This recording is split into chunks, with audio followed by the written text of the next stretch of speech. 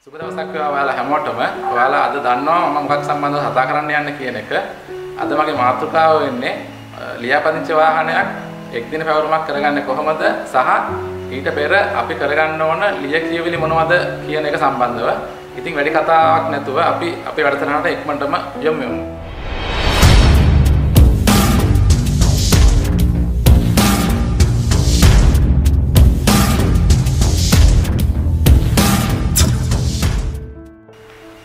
කියනවා මම මොටර රථ ප්‍රවාහන දෙපාර්තමේන්තුවත් එක්කලා ගොඩක් කාලයක් වැඩ කරලා තියෙනවා.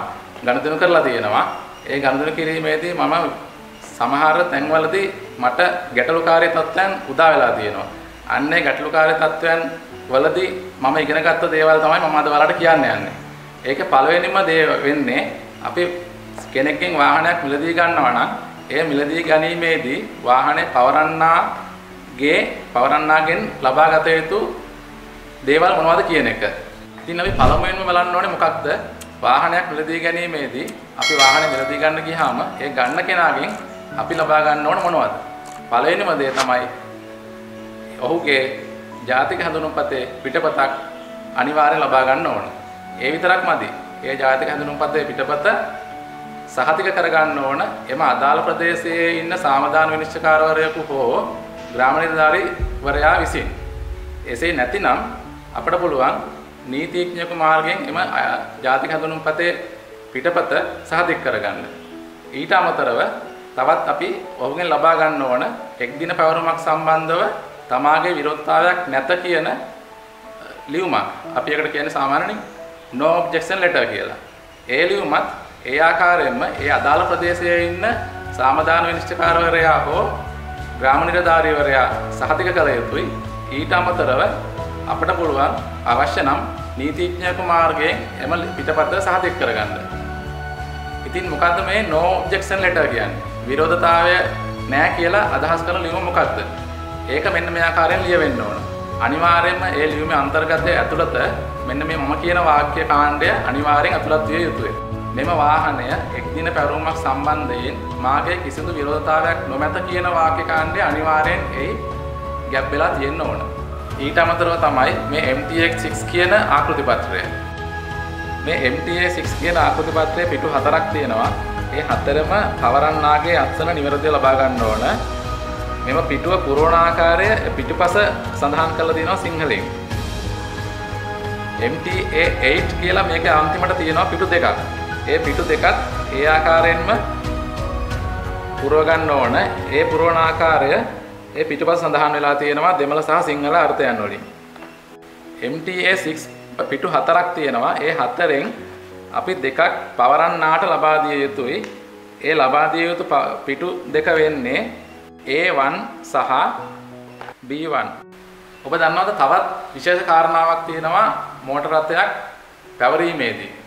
අපි දන්නවා දැනට වාහන ගොඩාක් ලංකාවේ තියෙන්නේ ලීසින් වල. ඒ ලීසින් වල තියෙන වාහනයක් ලීසින් එක ඉවර වෙලා තව කෙනෙකුට විකුණන්න පුළුවන්. ඒ විකිණීමේදී අපි අනිවාර්යෙන් බලන්න ඕන පරම අයිතිය තියෙන්නේ කාටද කියන එක. අපි ගොඩක් දෙනෙක් වාහනයක පොත කියලා කතා කරනවා. අන්නේ පොත කියලා කතා කරන දේ ඇත්තටම ඉස්සරහේ පොතක් තමයි. හැබැයි දැන් ඉන්නේ පොතක් නෙවෙයි. තනි කොලයක්.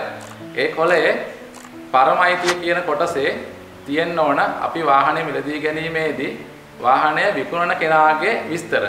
එසේ නැතුව ලීසින් කම්පැනියක් එහෙම නැත්නම් බැංකුවක නමක් තියෙනවා නම් අපි අනිවාර්යයෙන්ම එම බැංකුවේ හෝ ලීසින් කම්පැනියේ ලීසින් හෝ ණයවාරික අවසන් කියලා අපිට දීපු ලියුමක්. අපි ඒකට කියනවා ඩිලීෂන් ලෙටර්. අන්න ඒ ලියුම අනිවාර්යෙන් ලබා ගන්න ඕන.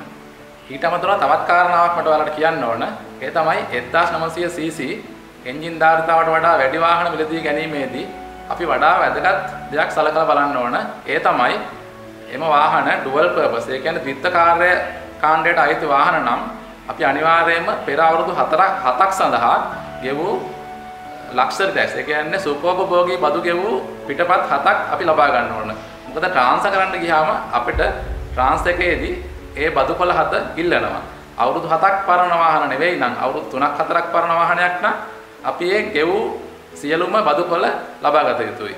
ඔන්න ඔය මම කියපු ආකාරයට සකස් කර ගන්නා ලද ආකෘති පත්‍රය සහ ලබා ගන්නා ලද ලියකියවිර ටිකත් එක්කලා වාහනය මිලදීගත් කෙනාගේ පාස්පෝර්ට් සයිස් ෆොටෝ දෙකක් ප්‍රදේශයේ සාමදාන විනිශ්චයකාරවරයෙකු ලවා හෝ බ්‍රාහ්මණධාරීවරයා ලවා හෝ සහතික කරගෙන එම සියලුම ලියකියවිලි සමග සතියේ දිනක වැඩ කරන වේලාවන් වල මෝටර රථ ප්‍රවාහන දෙපාර්තමේන්තුවට ගොස් තමාගේ ලියකියවිලි බාර දී එක් දින සේවාව සඳහා අය කරන මුදල් ලබා දී තමාගේ සේවාව ලබා ගන්න පුළුවන්.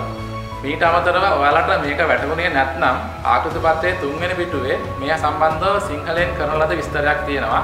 ඒක බලලා ඔයාලට අදහසක් ගන්න පුළුවන්. මීටත් අමතරව වඩා වැඩි විස්තරයක් ඔයාලට දැනගන්න ඕන නම් ඔයාලට අන්තර්ජාලය හරහා පරීක්ෂා කරන්න බලන්න පුළුවන්. මම වෙබ්සයිට් එක මේ වීඩියෝ එකත් එක්කලා පල්ලෙහා ලින්ක් එක දාලා තියන්නම්. ඔයාලට වැඩිදුර විස්තර දැනගන්න ඕන නම් ඔයාලට පුළුවන් මොණරත් පාවන දෙපාර්තමේන්තුව අමතන්න. මම දුරකථන අංක සඳහන් කරන්නම්. 0112 69 43 31. මීට අමතරව ඔයාලට තවත් මේ සම්බන්ධව වැඩි විස්තර දැනගන්න ඕන නම් මගේ කමෙන්ට් සෙක්ෂන් එකේ කමෙන්ට් කරන්න. ඒ වගේම මගේ මේ වීඩියෝ එක තවත් ඔයාලට වැදගත් වෙයි කියලා හිතනවා නම් යාළුවොත් එක්ක ෂෙයා කරගන්න. තාමත් මගේ YouTube channel එක subscribe කරලා නැත්නම් දැන්ම subscribe කරන්න. ඒ ළඟ තියෙන bell icon එක click කරන්න. එතකොට ඔයාලට මම කරන අලුත්ම වීඩියෝ වල notification ලබා ගන්න පුළුවන්. ළඟදීම දැනුම් බෙදෙන හරවත් වැඩසටහනකින් නැවතත් හමු වීම බලාපොරොත්තු වෙන අදට මම මගේ වැඩසටහනෙන් සමු ගන්නවා. මම මිලානෝ මැක්ස්